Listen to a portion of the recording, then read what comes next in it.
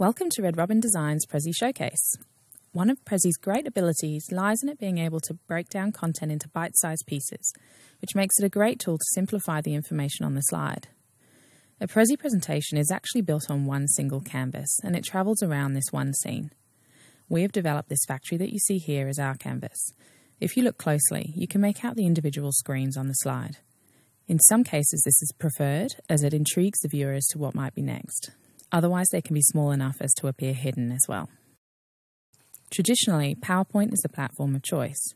It's tried, tested, has many levels of functionality, it's editable and broadly accessible, and when well branded and designed, it can be extremely successful.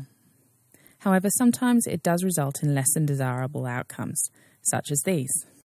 You might be getting reactions like this not necessarily because it's PowerPoint, but because of poor treatment, quality of imagery, and design of the content. These reactions can also be caused by the predictability of flow created when using static slides. So it's time to look at your presentations from a new perspective, or even better, from the audience's perspective. So let's press on and consider the advantages and benefits of Prezi. Sound effects also courtesy of Prezi. Now, moving on to talk about some of the features. The most significant difference that Prezi has over other presentation software is the way that it transitions, zooms, and flows between information. A Prezi frame replaces the traditional slide in its size and position, then it creates the transition, so you can set the scene and then zoom in for more detailed information.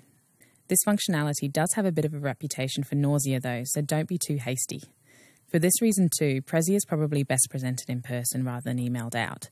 It's more of a supporting presentation tool to a speaker that needs to be delivered in a controlled environment, unless you're pre recording it, such as I'm doing now. So, moving on to Prezi templates.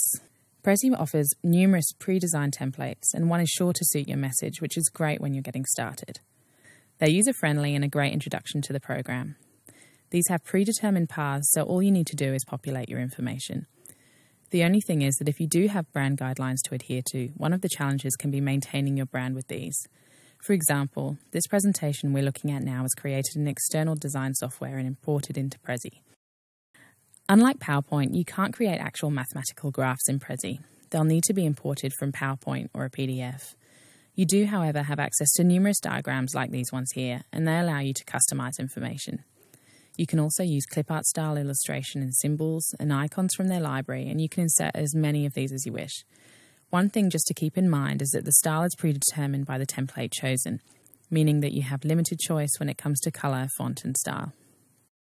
One of the other great features of Prezi is that it allows you to insert video, whether it be movies or animations. We found this little video to spice things up for you.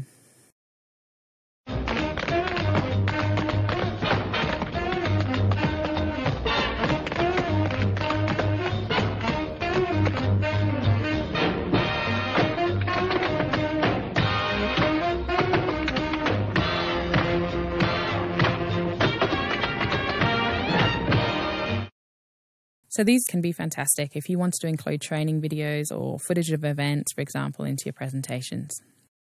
Another great feature of Prezi is its collaboration tool, which means that up to 10 people can work on your presentation at the same time. Each person needs their own Prezi account, but being a cloud based software, it can be accessed anywhere in real time, which is great if you're working with a team interstate or overseas, as everyone has direct access, and that's access that you can control. Obviously, you could even work with Red Robyn in this way. We could structure the template and layout for you, and you can add your content or update wherever necessary. While Prezi is a cloud based software, there is a desktop version too, which is really handy so you don't have to worry about Wi Fi connections dropping out and so on. Now, moving on, let's just consider looking at Prezi in a more familiar PowerPoint format. One of the limitations of Prezi is the fact that you can't collate and print handout notes like PowerPoint. You can only print out PDF slides. This is an example of a traditional well designed PowerPoint slide. The content can be quite overwhelming. As a printed handout, this is fine, but as a digital presentation, the content can be difficult to read or decipher. If we are to assume that this was imported directly from PowerPoint, what we can now do with Prezi is take the audience on a journey by feeding each piece of information independently and in as much detail as you want. From a creator's perspective, this is great because you don't have to create five different slides or stages, it's just one piece of artwork. One of the disadvantages of Prezi is that the editability of content can be limited, and there's a less than desirable choice of fonts. And even these don't include your basic Arial and Helvetica. This one here is the most corporate on offer. Here is another typical type heavy PowerPoint slide. This one, though, isn't particularly engaging and it's certainly not very visual. There's not much of interest on the page, and again, it's okay for a take home printout, but that's about it. So here, we wanted to demonstrate the power of visuals and how Prezi breaks down the information to tell a story. For example, in the first point, here are some stats regarding the importance of engagement. But this now demonstrates how the message can be interpreted into a series of digestible infographics, made the more interesting by the transition, which gives the impression of an animation. Going back to point two, hopefully we can prove this one. Here you can see we've added some colour and illustration to make the statement a little bit more visually impactful.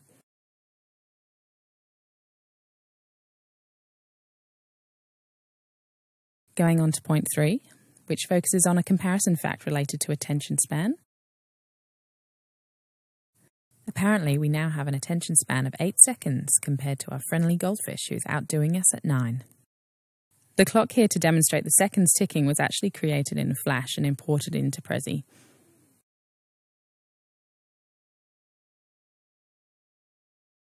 So if it takes 8 seconds to grab your attention and 20 minutes to hold it, that's a wrap. If you still have any questions about Prezi or you'd like to have a chat with someone at Red Robyn about your next presentation, please do get in touch. We'd love to hear from you.